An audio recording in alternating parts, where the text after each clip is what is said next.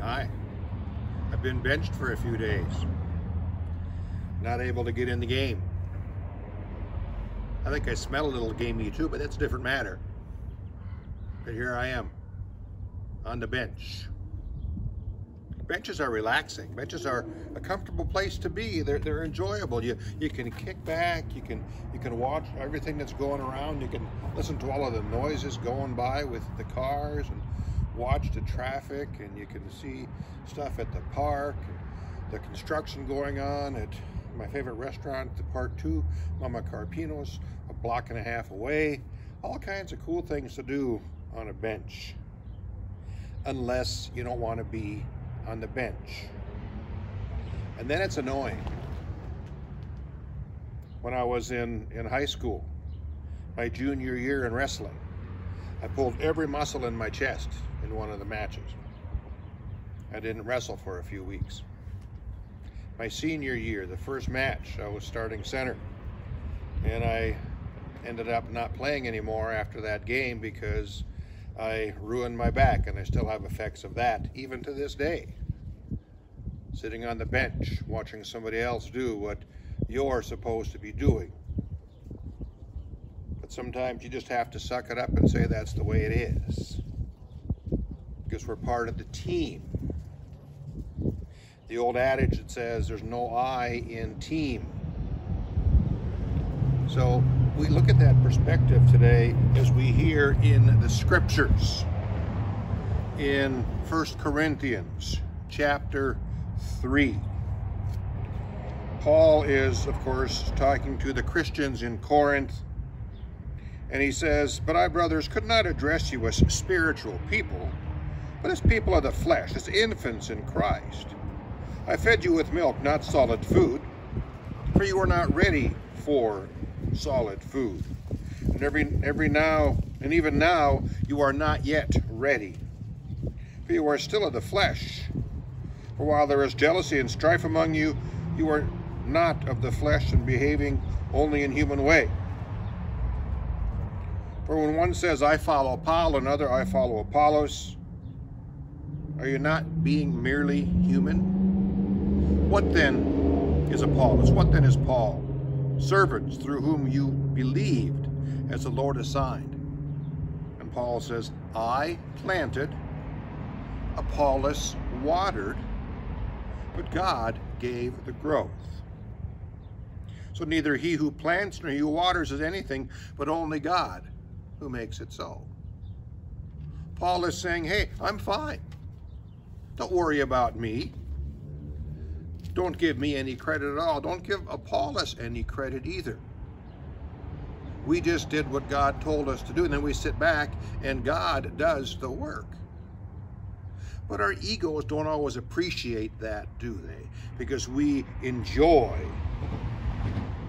being in the mix of it all, being in the game and getting the credit. We love to get the credit for what we have done. Even some of us for what we have not done. I was there that day when they did all of that, so hey, I'm a superhero too, even though I was just watching. I was there. What God tells us to do is, is to live our lives as servants to live our lives looking out for one another, serving the Lord, serving our brothers and sisters in the faith. Even if that means we get to be benched now and again. Even if that means somebody else might get some of the glory that we think is meant for us. God probably wouldn't use these words, but sometimes we just need somebody to say, sit down and shut up. Do your job. Don't fuss. Don't stomp your feet. Just do your job. I don't like the New England Patriots, but they are an organization that, that is built around the attitude that says, do your job. Don't think you're the star. You're part of the team. Do your job or you will be benched. and their coach isn't afraid of doing those kinds of things or saying those kinds of things. He's kind of a grumpy curmudgeon type fellow anyway, but he knows how to win by getting his players to do their job. Each one of us has been given gifts by God's Holy Spirit to do a variety of things in a variety of ways.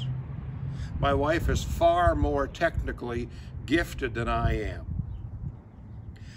I actually have a tendency that when I touch electronics, they tend to kind of get goofy. I can't wear digital watches, it seems, because I, I tend to fry them. Maybe it's just my magnetism, I'm not sure, but that's the way it is. She can handle these things. That's why she is filming all of this stuff, because if I do it, I'll film a picture of my foot and say, well, well, that was interesting. But we have our jobs to do, each one of us.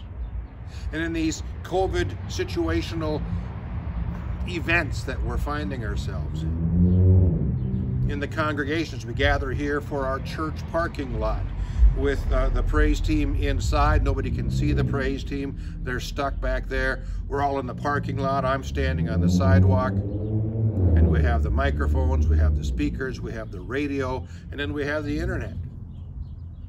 Each person having a different role in making sure all of that gets done. We've got people on eight foot poles handing out uh, communion sets, not for tomorrow, but for other weeks, little pre-sealed communion, bread and wine. And we have them handing out bulletins and collecting offerings. Not a difficult job, but a necessary job. Last Sunday we had a food drive, so we had people gathering the food, and then somebody else distributed it later on in the week. Each of us doing our job. Sometimes sitting on the bench, sometimes getting our hands dirty, sometimes just waiting to see what happens next. But for each one of us, God has given me, has given you, you, you, you, each one of us, gifts by His Holy Spirit. Spiritual gifts, spiritual tools, that we would use them for His purpose, for His glory. And so look for ways, even in this new world we find ourselves in with the COVID 19 adjustments to life how can God use you still? Even if it's not the same old, same old that has been for a thousand years. Or for some of you when you were a kid. Just kidding on that. God still uses you. Surrender. Use Him. I'm sorry, let Him use you because He will. Pray with me, Heavenly Father. We thank you that you bless us and empower us, that you use us for your plan, for your purpose, for your glory, that others would hear, would believe, would be saved, that the weak would be strengthened, that the lost would be found. It's not up to us to gain the glory. It's up to us to do what you call us to do, willingly, eagerly, joyfully. We thank you, Lord, for the opportunity to give to us in new ways now as we reach around the world with the internet, and even in our parking lot. Bless us by the power of your Holy Spirit through your word that indeed you would be glorified and millions more saved because of the blood of Christ. We praise you and we pray all of this for your glory for the sake of the Christ. Amen. Put me in, coach.